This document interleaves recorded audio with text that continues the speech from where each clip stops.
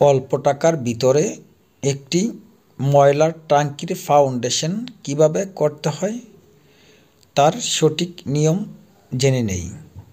সম্মানিত বিওয়ার আসসালামু আলাইকুম। দেখতেছেন যে কাজটি, এটি কিন্তু একটি ময়লার ট্যাঙ্কি হতে যাচ্ছে।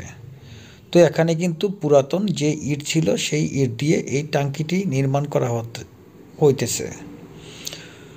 তো দেখতেছেন এখানে কিন্তু প্রথমে পনেরো ইঞ্চি শোলিং করে তারপর তিনটি রড দেওয়া হয়েছে। বারো মিলি চার সুতা রড দিয়ে তারপর বাইন্ডার বান্ধার পর এখানে ডালাই দেওয়া হয়েছে প্রায় ছয় ইঞ্চি। এটাকে সিসি ডালাই বলা হয়। তবে রড দেওয়াতে অনেকেই আরসিসি বলে। তো মূলত এখানে যেহেতু রিং ব্যবহার করা হয়নি, সেজন্য এটাকে সিসি ডালাই বলা হয়।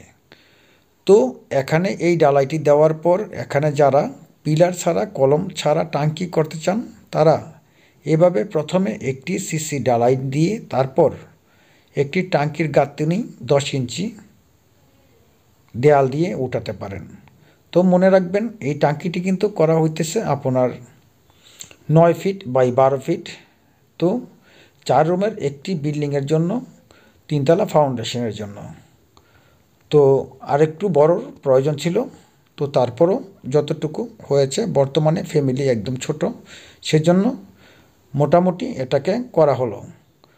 তো পুরাতন যে ইটগুলো ছিল, সেই ইটগুলো দিয়ে কিন্তু এই কাজটি হইতেছে। তো এভাবে যদি করতে চান, তাহলে আপনি কিন্তু একদম সীমিত অল্প খরচেই একটি ট্যাঙ্কি করতে পারেন। তবে ট্যাঙ্কির খরচটি সম্পূর্ণ আপনাকে পরবর্তী ভিডিওতে জানিয়ে দেওয়া হবে। লাইক দিয়ে আল্লাহ হাফেজ।